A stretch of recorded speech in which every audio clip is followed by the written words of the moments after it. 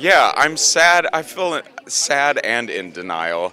And also like grateful that we've been able to last this long and that we've been able to reach so many people. I've I know that I get so many messages from people who are in the LGBTQ community, people of color, uh, other Asian men that tell me this is the first time that they've seen themselves represented on their TVs in a way that's not like being a clown or like the butt of the joke.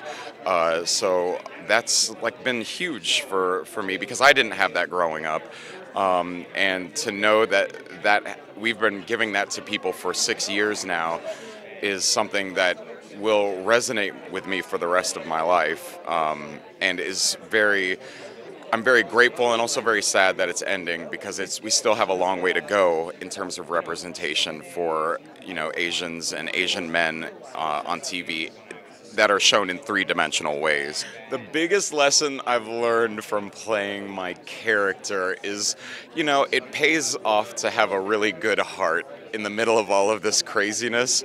You've got to maintain like your integrity through it all, and I think that that's like what what I've learned. Um, yeah, yeah. It's it, Oliver's such a, is the probably the sweetest one of all of them, and uh, is the light in all of the darkness of the show. So. Uh, and that's been important to kind of balance out the show. So yeah, I mean, I feel like my character's uh, relationship, Oliver and Connor's relationship, has been a bright spot in the middle of. It's it's the thing that grounds the whole show uh, because they've been able to nurture a loving relationship go through the dating and then eventually being in a relationship and then getting married on the show uh, it's been the bright spot in all of the misery. So, uh, yeah, they've been they've been able to navigate it so far, but you know the FBI is closing in, so we'll see who turns on who and